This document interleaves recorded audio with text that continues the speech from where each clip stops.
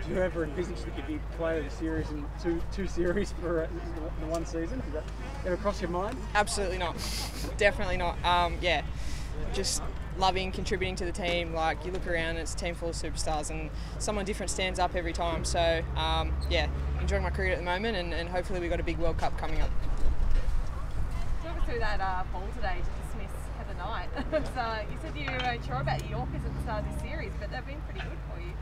They've been coming out all right. Not all of them are intentional. Um, that's sort of what the team always asks me when I bowl them. Was that one intentional? Today, I'll say it was. May or may not have been, but um, yeah, it's, it's it, I have been working on the Yorker a fair bit, um, and it's got me a bit of success this tour. So um, it's a good change up to have, and um, it's a hard ball to bowl. So hopefully they keep coming out all right. How pleasing was it to finish off with the win tonight on you know, the last few Ashes series? Um, having been able to win the series, but um, ended on a loss. So to um, finish off today must have been really pleasing. Very pleasing. It's something we spoke about a lot. Um, not only um, once we retained the Ashes, it was about winning them outright, and then it was about not letting England in at all. So um, it was really important for us to finish off the job, and, and couldn't be happier to um, finish the series the way we did. So good momentum leading into the World Cup. Um, Lockie, do you want to jump in? Yeah, thanks, Lucy. Um, I guess firstly, Tahlia, did you have a bit of a chat to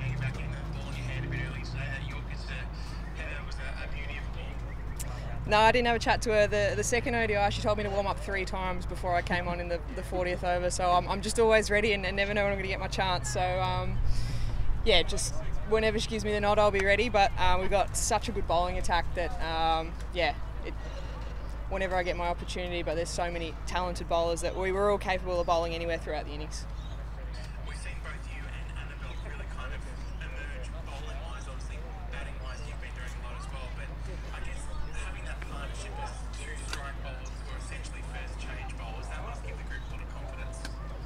Yeah, Belzy's had an unreal series, especially that Test match. She was just incredible. Um, I don't know how she, she bowled that many overs and with that much um, intensity, but um, yeah, the way that Shooter and, and Pez start us off, and then to to have Belzy and myself, and even Nick, and then when Das comes when she comes back in, and our world quality uh, spinners, it's it's a nice problem for Meg to have when you've got so many good options to throw the ball to.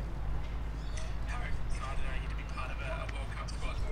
I am stoked. I've never been to a World Cup before, so um, I've been a standby player for about three. So um, this has been a tournament that I've been eyeing off for a long time, and I cannot wait to get on that plane to over to over to New Zealand and get stuck into it.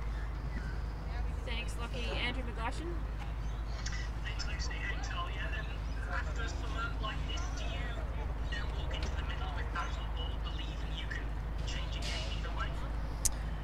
I've just got a real, real confidence, um, a real clear plan about my game at the moment. So I just try and simplify everything, take the scoreboard out of it, take the, the situation out of it, and just back my back my game and back my strengths. So that's what I've been doing with, with bat and ball, and, and just trying to yeah, like I said, simplify things and um, and work with um, whoever I'm batting with or whatever the plan is with Meg. So um, it's it's a nice feeling to walk to the crease or have the ball in hand at the moment with a lot of confidence.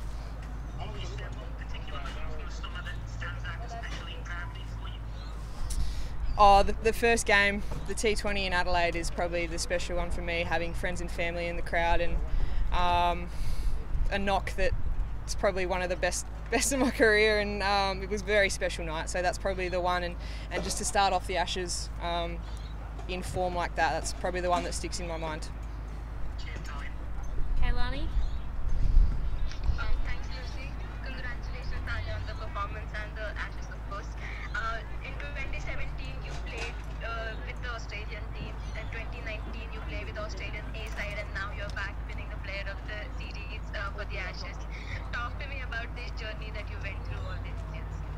Yeah, it was certainly a journey. I got a, a taste of international cricket pretty early and then found myself on the outer quite quickly after that. So um, it was a long journey to get back into the Aussie side, and I was quite lucky that we had um, Cricket Australia had the NPS program, the Aussie programs put in place. So I was still around the mark, still got to travel to places like England, India, Sri Lanka, and, and just chip away at my game. So um, getting back into the Aussie team, I felt I felt ready, I felt confident, um, and just really fortunate to, to string a few games together and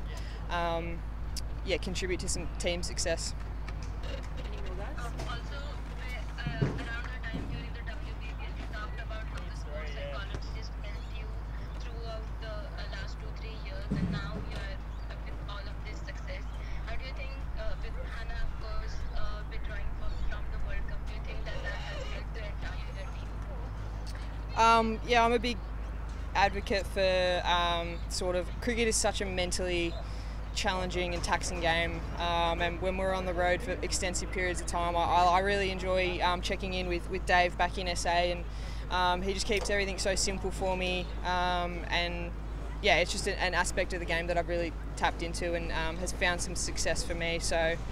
Um, I'll continue with that, but yeah, it's certainly a challenging time with the COVID protocols and all the bits and pieces we've got going on. So um, yeah, it's an important part of for me.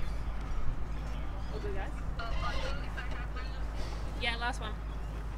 Uh, yes, when Australia went to the New Zealand for the one day and T20 series, you didn't get uh, much opportunity to bowl in those conditions.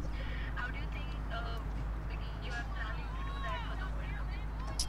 Yeah, earlier last year didn't get to play um, on that tour, but spent a bit of time in quarantine in the nets um, in New Zealand conditions, and already having a few conversations with girls in the team about um, sort of what to expect, what works over there, what doesn't work. So I think it's about um, adapting pretty quickly, and um, yeah, just going from there. I'm sure that, like I said, I simplify my game, play to my strengths, and go from there. So uh, having a look and adapting pretty quick, quick will be important for me.